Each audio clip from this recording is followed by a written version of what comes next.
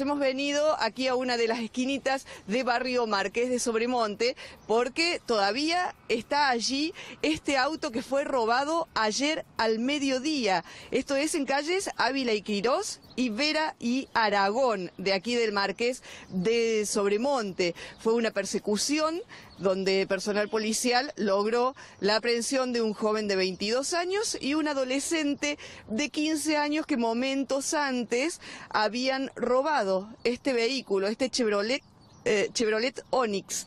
Eh, había sido sustraído por aquí, por eh, estas calles de la barriada, lleno de pan estaba distribuyendo esta mercadería, el dueño de este vehículo, cuando se lo sustrajeron.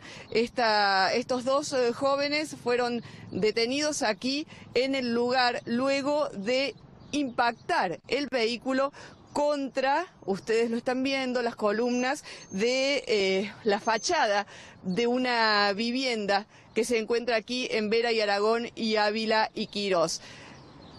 Continúa el auto, aquí no han venido a buscarlo, eh, se encuentra personal policial custodiando eh, este, este vehículo y esta vivienda que ha quedado por lo menos en su frente, parcialmente destruida. Bueno, para llevarles esta imagen, así comienza el Marqués de Sobremonte este martes. Adelante ustedes, chicos. Bueno,